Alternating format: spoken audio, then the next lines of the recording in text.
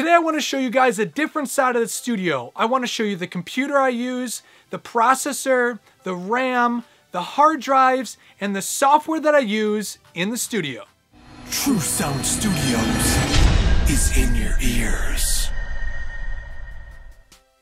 Hey guys, what is up? I'm Weezna, and as always, we're here my studio, True Sound Studios. So some of the new questions I've been asked is, what kind of computer do you have? Like, how much RAM, how many hard drives you have? So that's where this video comes in. I wanna show you guys the behind the scenes stuff.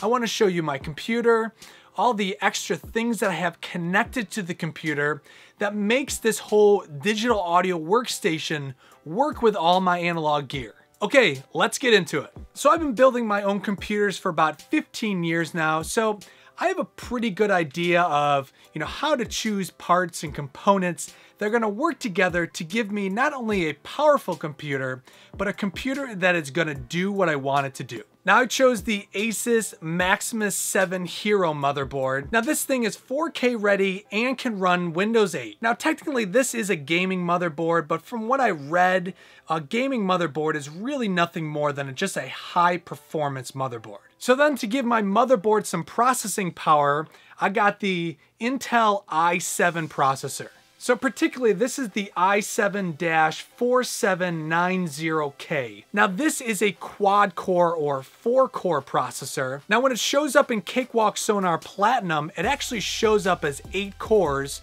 because of the hyperthreading. So far, I haven't been able to top out this processor. Even running sometimes up to 200 plugins per project, this processor still hasn't hit 100% processing power. So to work along with the i7 processor, I purchased two 8 gig sticks of RAM. Now this is DDR3 RAM and the manufacturer is HyperX and it's, it is the Fury model. So because I put another computer in my living room to edit all these videos at night, I actually took 8 gigs out of my recording computer and put it in my video editing computer. So for the last four months, I've actually only been running on eight gigs of RAM with the i7 processor, and I honestly haven't even noticed a difference in processing. So what does that tell you? That i7 processor, even with 8 gigs of some really fast DDR3 RAM, is really more than enough that I need to run my studio. So my recording computer has three main drives. The first drive is a solid state drive, and that is the system drive. Now the system drive only has programs on it, so I don't store any audio files or mixdowns or projects on there because God forbid anything ever happened and I had to reinstall the operating system or programs, I can just go ahead and wipe out that one drive and it won't affect any of my projects or anything else. So my last two drives is where I store all my projects my tracking files, my mixdowns, my masters, and my samples. Now currently both of those drives are actually like a traditional spinning disk drive, but I did just go out and buy two brand new solid state drives to replace those so I'm hoping for even better performance when it comes to latency. Now for like archiving and backup, I have three external Western Digital drives. I actually bring two of them into the house just in case the studio burned down or if somebody broke in here. And then the drive that's actually in the studio is a three terabyte drive. And essentially what I do is just, as I'm working on projects, I go ahead and back up every single week to that drive so that I just have one extra backup just in case something happens. Now for the rest of the 12 drives I have, I have a docking station and this way you can easily swap in and swap out hard drives but the thing is, is that's really stuff I just store for myself, just in case for whatever reason I would want to go back to a really old project and be able to open it again. So I have quite a few PCI Express card slots on my motherboard and the only one right now is being currently used is the SSL MADI Extreme card. And this is how I get the digital information from my SSL converters to my computer. Okay, so obviously we're talking about this recording computer. Let's go ahead and take a look at it. Okay, so my recording computer is buried in the back of the storage room, really not in an area that makes it easy to film, but this is it. So as you can see, this is the cooling fan for the processor, the i7 processor. Um, currently, I'm only running eight gigs of DDR3 RAM. Now I actually do have 16 gigs of RAM, but currently I took the eight gig out right now and put it in my uh, video editing computer for the moment while I just went ahead and ordered some new RAM. So over here, this is the SSL MADI card. Um, this goes into a PCI Express slot. So then towards the top of the computer, you can see I have a Corsair 700 watt power supply to handle all the power for the computer. And then I have uh, a good old CD-ROM drive. Uh, Sometimes I burn like DVD backups for clients if they really want it.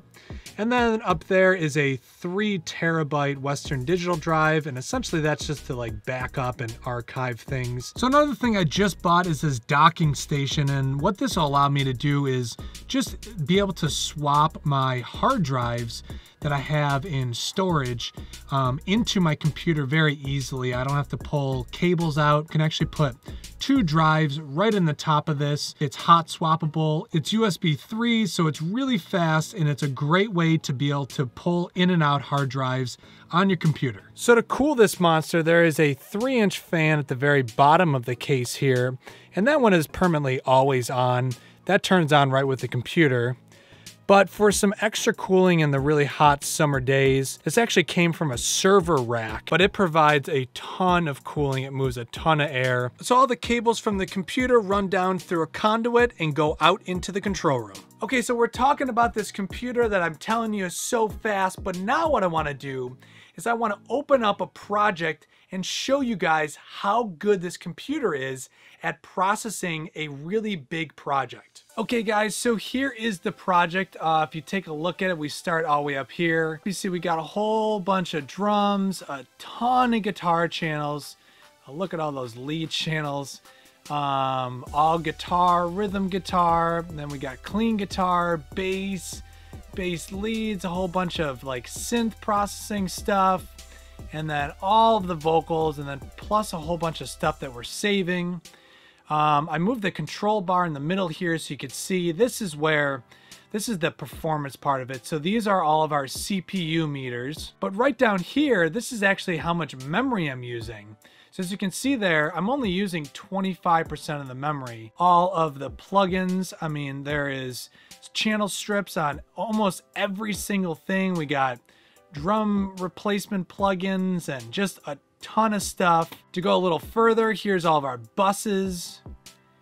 Uh, these are all buses, and all the buses even have plugins on them for the most part.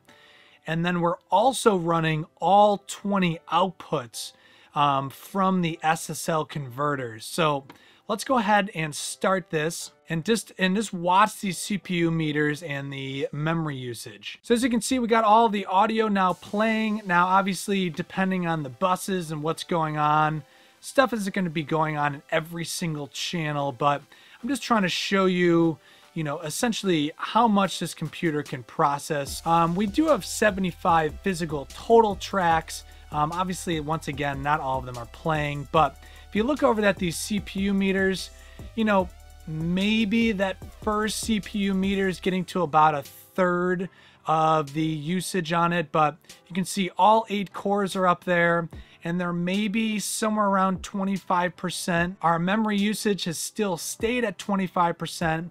And once again, this is still running 8 gigs of RAM. So uh, once again, that's why I was saying that I didn't really notice anything when I took the 8 gigs out. And it's because I'm not really using much, um, even on a project that is this big. So True Sound Studios is a non-Apple, non-Pro Tools studio. I'm currently running Windows 7 64-bit Professional, and my DAW is Cakewalk Sonar Platinum. So that is my recording studio computer. The thing is a beast, knock on wood. It has been really, really good to me for the last probably almost two years now. And to this day, the computer has just been rock solid and it's been able to process anything that I throw at it. So I didn't go to school for like computer science or anything. I've learned all this from watching YouTube videos and, you know, reading about computers and parts and how things all work together so that I at least can make some good educated decisions on how to build a computer and choose components that are gonna work for what I want them to do. So I hope this video helped you guys out on how to upgrade or build your own recording computer. So if you guys like this video, consider subscribing and hit that like button. Follow us on Instagram for daily posts. You can find the beats that I make right here at the studio on our SoundCloud page. True Sound Studios also mixes and masters your tracks. So once again, guys, thanks for watching this video. I'm Weezna, we're at True Sound Studios, and True Sound Studios is in your ears.